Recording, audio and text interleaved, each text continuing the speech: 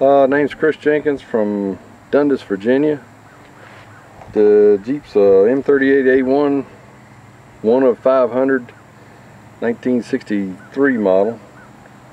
It's a Marine Corps model Jeep, positive traction front and rear.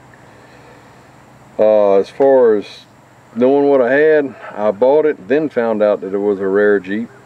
It's been an interesting project, a group effort, several of us working on it. My daughter doing small things when we were overhauling the engine and doing the upholstery work and help from my brother and friends and TJ Overby and Tim Jenkins as far as getting it restored and painted. And a friend of mine John Winslow who's passed away that did all the paint work on it.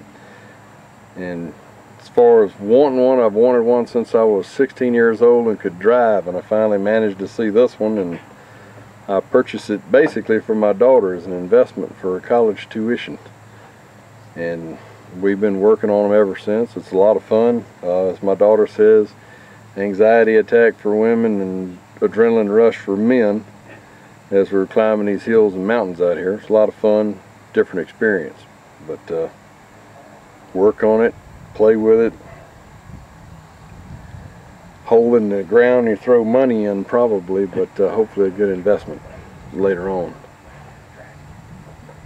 As far as the Jeep, I've got a little bit further to go. The decals, the proper engine components, and a new set of tires because up here on these hills, these are getting a little bit slick.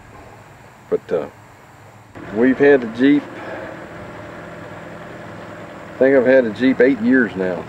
Started out as a rescue Jeep from the Edenton, North Carolina Fire Department.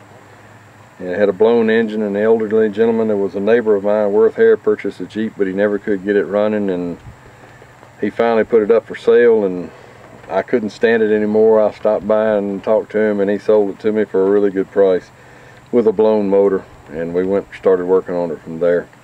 But uh, it was all bright red and EMS colors so we painted it back to the uh, marine green or semi-gloss OD green that was the last thing I did. Last thing Mr. Winslow did before he passed away, he restored it for me.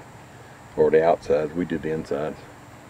So one of the last 500 M38A1s that were ordered by the Marines, they couldn't get the 151s in the time period. The Army was gobbling up just about everything from what I've been told. So the Marines went back and ordered one uh, the M38A1s to supplement their need for the Jeep or small quarter ton vehicle.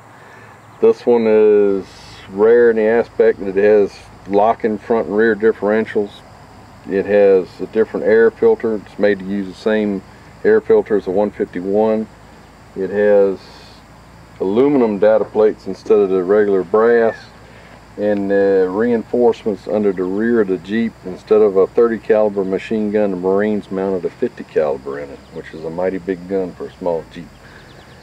And the lifting shackles on the corners it's made to be air transportable or either lifted on a ship.